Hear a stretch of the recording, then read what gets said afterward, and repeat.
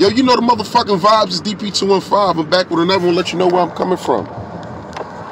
All I do is expose the truth and let it go to the youth. Mikey T, the movie star, got yoked up by none other than Lik Moss. You let a guy named Lik Moss yoke you up on Erie Avenue, brother? His name Lik Moss, bro. Not to discredit him and say he a nut, but damn, like, the reason why I know you don't have any hood experience is because when you see a nigga walking towards you like that, you should already known to throw your fucking hands up. You still on the phone. You got the phone in your hand. Like you didn't see none of their face expressions. You must have not never been in no fight before.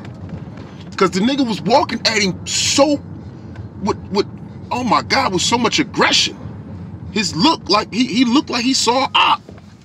It was like he it's on. But I think he got a certain amount of respect and love for you, like whereas though he don't want to hurt you, he just want to yoke you up and show you not to play with him like that. You feel what I'm saying? Like he don't got no point to prove. He just wanted to G check you physically.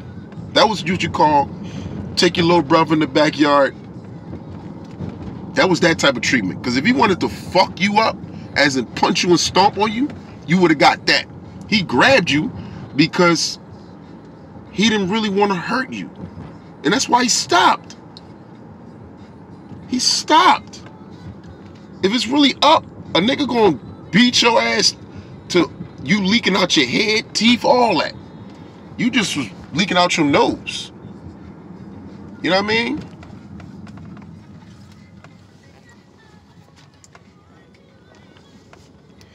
So it's like, man, it's, it's crazy. Like, it's just real crazy, bro. I, I I can't figure out why you would go down there and not at least pay attention to your surroundings.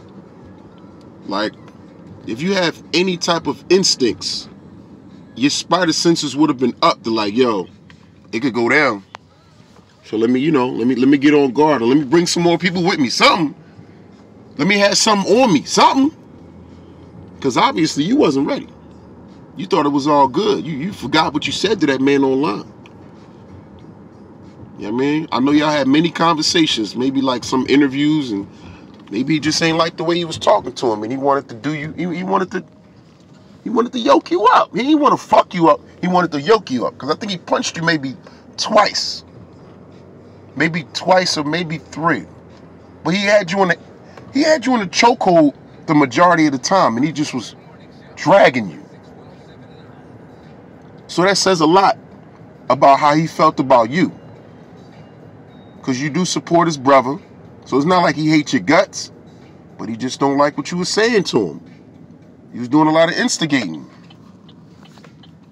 I mean, so all I'm saying to you is, brother, well, you're not a brother, but you can't come back to no hood. Because it might not be done there until you figure out how the hood really move. Anybody walking towards you with that speed, at that expression, you know it's about to go down.